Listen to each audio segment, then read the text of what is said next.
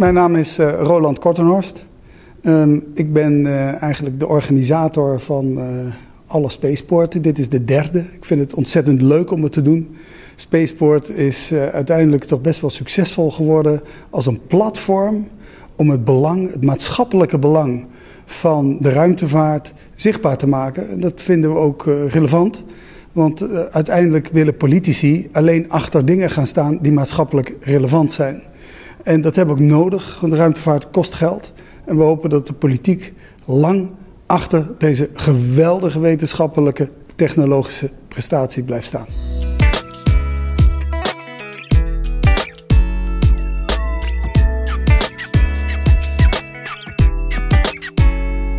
Mijn naam is Anne Lucas. Ik ben Tweede Kamerlid voor de VVD met wetenschap en innovatie in portefeuille. Ik ben vanavond de gastvrouw namens alle Tweede Kamerleden die betrokken zijn bij de ruimtevaart. Uh, wij organiseren deze Spaceport. Uh, daarbij komen het bedrijfsleven, wetenschappers, uh, maar ook de politiek bij elkaar om te bespreken wat er nog moet gebeuren op ruimtevaartgebied en wat we van elkaar kunnen leren.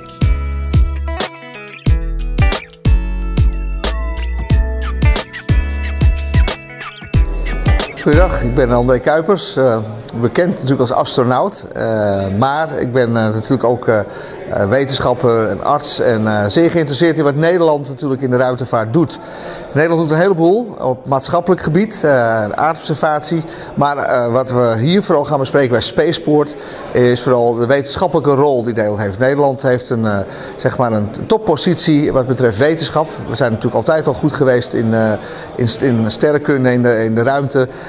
En nu kunnen we dat ook, ook hier doen met allerlei takken van sport in de aardobservatie en ook in onze kennis van het heelal. En Spaceport is natuurlijk een prachtig platform om dat zeg maar aan het publiek en aan zeg maar de volksvertegenwoordigers ook duidelijk te maken van wat wij als Nederland betekenen en dat we ja, een toppositie hebben en die moeten behouden.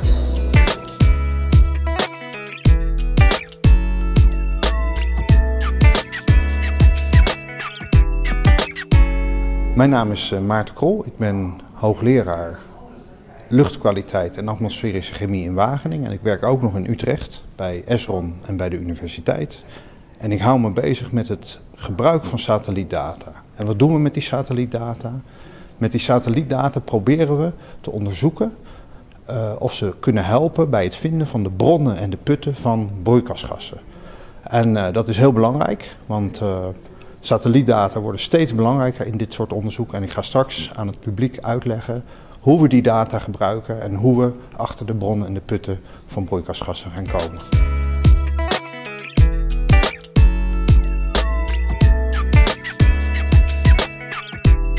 Mijn naam is Sabine van Dishoek. Ik ben hoogleraar astrochemie aan de Universiteit van Leiden.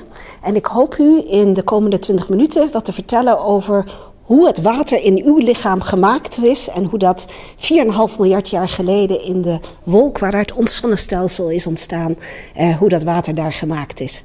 En ik hoop u ook te laten zien dat satellieten en de hoogwaardige technologie die we daarvoor nodig hebben, dat die essentieel zijn om dit onderzoek te doen.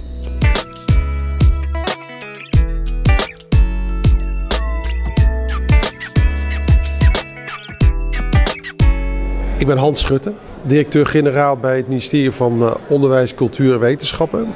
Uh, fantastisch om hier te zijn en om iets te vertellen over wetenschap en ruimtevaart. Waar wij een unieke positie hebben in, uh, in de wereld. dus ik ga iets vertellen over de historie waar we nu staan en de enorme spin-offs die dat ook voor het bedrijfsleven heeft.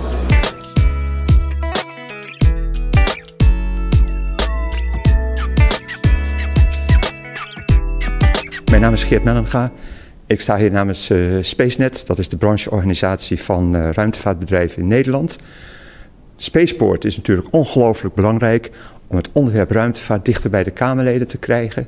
Dat is uh, zo, omdat, zo belangrijk omdat ruimtevaart een enorme maatschappelijke impact heeft. En het is van belang dat de directe gebruikers en de directe betrokkenen één op één met Kamerleden kunnen spreken om over te brengen hoe belangrijk het is en wat zij vinden dat er zou moeten gebeuren.